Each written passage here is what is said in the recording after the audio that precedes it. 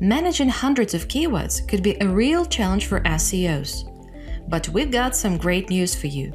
Our team has updated the keyword grouping tool to make it more flexible and insightful.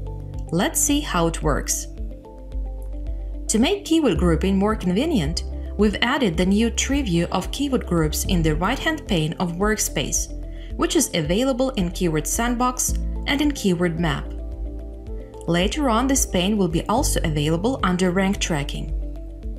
Using the tree view, you can see the hierarchy of all your topics and subtopics at a glance. Such logical clustering makes it easier to audit your site structure, plan content, or marketing campaigns.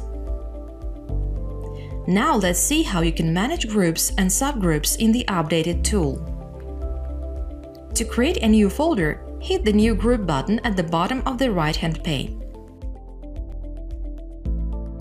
To create a subfolder, right-click the required keyword group and select New Group. All discovered keywords in existing projects will be transferred to the new layout. The rank tracking folder for your previously tracked keywords and the old sandbox. For new projects, you will see two root folders in the Keyword Research module All Keywords and Ungrouped. The keyword grouper has the drag and drop functionality to easily move keywords between keyword groups. Simply select and drop any keyword to a different group. If you only need to copy the keyword to a different folder, select it while pressing the Ctrl button and drop it where you need.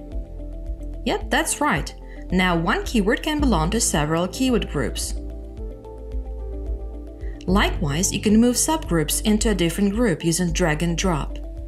Select any subfolder you need with the left mouse click and move it to the required directory.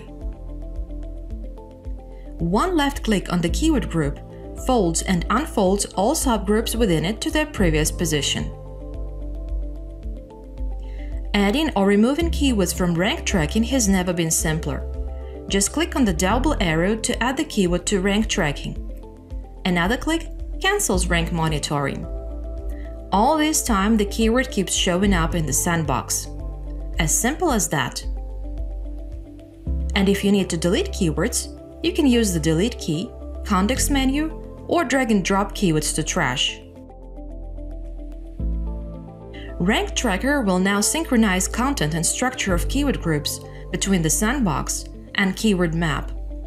The groups you create, move, or delete in the sandbox will appear the same in the mapping tool. What's more, the synchronized keyword group view will soon be added to rank tracking as well. Please keep in mind that if you delete a keyword group in the Target Keywords module, it will be also deleted from the sandbox including all the untracked keywords. The tool will warn you how many keywords are located in the group, so you won't delete any keyword group by mistake. Finally, you can run the automatic keyword grouping tool manually whenever you need it.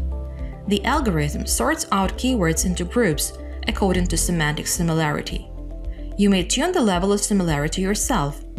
A high similarity will produce lots of small groups of closely related keywords whereas low similarity keywords will be grouped into fewer in number but larger clusters with words less strictly related to each other. The updated keyword grouping tool will give you more freedom and flexibility in managing keywords and landing pages. Now you can classify topics and subtopics with all complexity you want. Now launch Rank Tracker and start managing your keyword groups. As always, we'll be happy to hear your feedback just drop us a line at support at link-assistant.com.